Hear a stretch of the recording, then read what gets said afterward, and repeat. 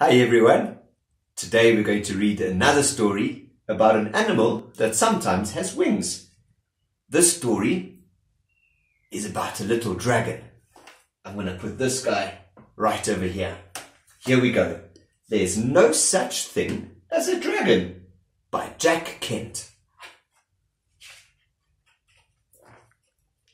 Billy Bixby was rather surprised when he woke up one morning and found a dragon in his room. It was a small dragon about the size of a kitten. The dragon wagged its tail happily when Billy patted its head. Billy went downstairs to tell his mum. There's no such thing as a dragon, said Billy's mother, and she said it like she meant it. Billy went back to his room and began to dress. The dragon came close to Billy and wagged its tail. But Billy didn't pat it. If there's no such thing as something, it's silly to pat it on the head. Billy washed his face and hands and went down to breakfast. The dragon went along it was bigger now, almost the size of a dog.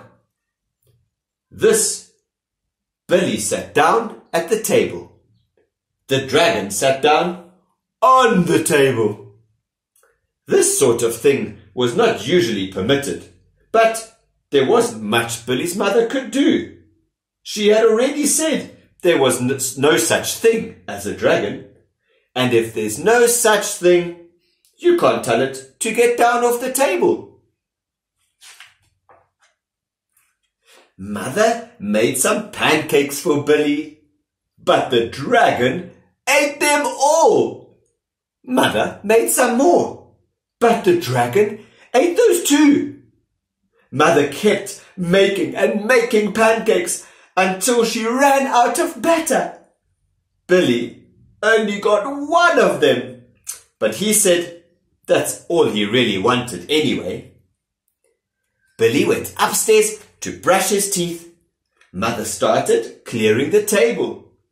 The dragon, who was quite as big as Mother by this time, made himself comfortable on the hall rug and went to sleep.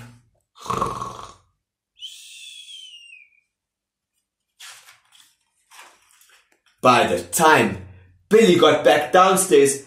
The dragon had grown so much he filled the whole hall.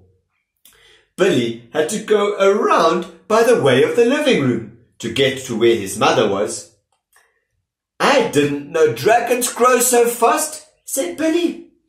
There's no such thing as dragons, said Mother firmly.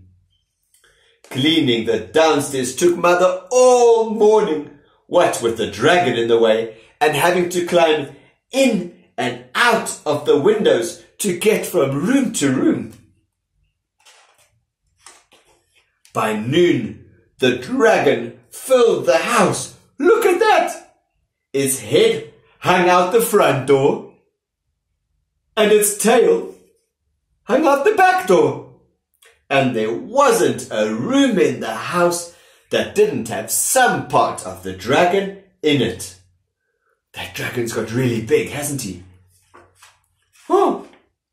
When the dragon awoke from his nap, he was hungry. A fresh bakery truck went by. The smell of the fresh bread was more than the dragon could resist. The dragon ran down the street after the bakery truck. The house went along, of course, like the shell on a snail. The mailman was just coming up the path with some mail for the Bixbys when their house rushed past him and headed down the street. He chased the Bixby's house for a few blocks, oh, but he couldn't catch it. When Mr. Bixby came home for lunch, the first thing he noticed was that the house was gone. Luckily, one of the neighbors was able to tell him which way it went. Mr. Bixby got in his car and went looking for the house. He studied all the houses as he went by. Finally, he saw one that looked familiar. Billy and Mrs. Bixby were waving from an upstairs window. Mr. Bixby climbed over the dragon's head onto the porch roof and through the upstairs window. How did this happen? Mr. Bixby asked. It was the dragon, said Billy. There's no such thing. Mother started to say. There is a dragon, Billy insisted. A very big dragon. And Billy patted the dragon on the head. The dragon wagged its tail happily. Then, even faster than it had grown, the dragon started getting smaller. Soon, it was kitten size again. I don't mind dragons this size, said Mother. Why did it have to grow so big? I'm not sure, said Billy, but I think it just wanted to be noticed. The end.